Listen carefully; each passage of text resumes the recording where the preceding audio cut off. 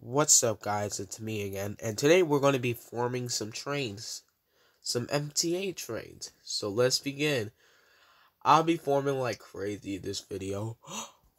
R211F train to Far Rockaway. Oh my fucking god. Oh my god. R R211F train. Now that's some big ass foam. Holy shit it actually looks like an R211F train. Like I wish this was can be this. I wish this can be real. Sorry for my um bad speaking, but I don't care at the moment. Holy fucking shit! An R211F train. That's some big ass foam there. R68F train. How is this real?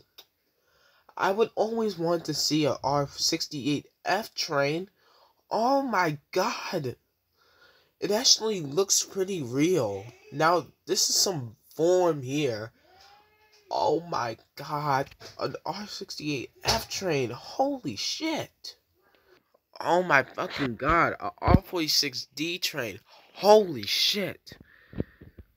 A R46 on the D line. Nice. Looks pretty fucking awesome. Oh my god.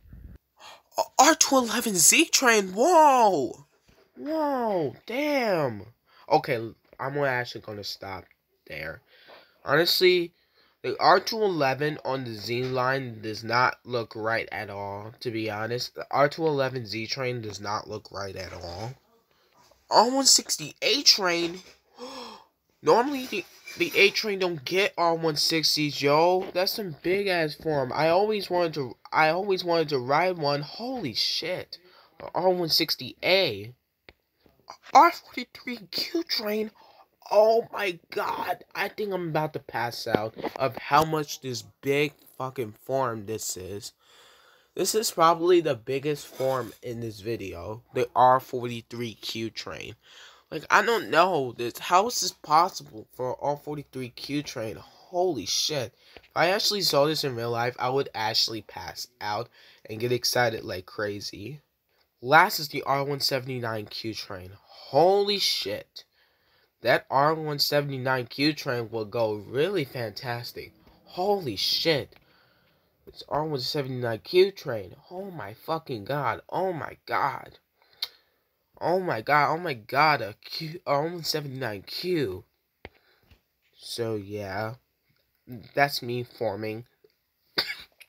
Oops, sorry. Alright, I'll be ending the video here. Goodbye.